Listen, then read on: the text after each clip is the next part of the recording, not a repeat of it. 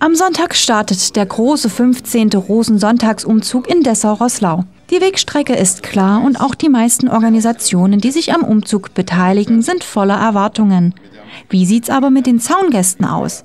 Wir haben uns drei Tage vor dem großen Fest auf der Straße umgehört und wollten wissen, worauf freuen Sie sich am meisten zum Rosensonntagsumzug? Hm, das ist egal, also auf alles. Ja. Ist doch interessant.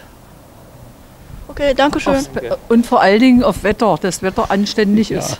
dass man stehen kann und nicht, dass so ein Schneegestöber kommt. Ja, und nicht regnet, das ist wichtig auch. Ja. Na, wir werden schauen gehen, mal sehen. Interessant ist es ja, immer. Schön. Ich weiß noch nicht. Je nach Wetter.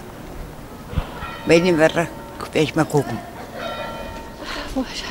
Leider bin ich schon ein bisschen älter, habe einen behinderten Mann, da kann man nicht so sehr viel anfangen, aber ich gucke sehr gerne. Ja, wir hoffen, dass das Wetter mitmacht, es taut ja. Denn für die schönen Kostüme wäre es ja jammerschade, wenn, wenn die so äh, irgendwie verdreckt werden, die das sonst immer sind. Woran ich mich freue?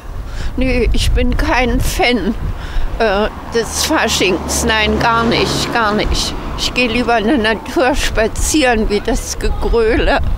Und ich meine, hier die Gegend ist ja auch nicht gerade die Faschingsgegend. Ich habe 40 Jahre in Wiesbaden gelebt. Da hatte man Mainz vor der Tür. Da sind wir auch immer geflüchtet, wenn diese drei tollen Tage waren. Ja, also ich gehöre nicht zu denen, okay, die das Dank. unbedingt um sich haben müssen. Die Stimmung die dort ist.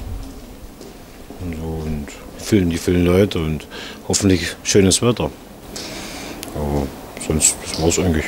Wie kann man sich da freuen? Ich freue mich, dass die Leute lustig sind und, und da tanzen rum und dann schmeißen sie Bonbons. Und das war's.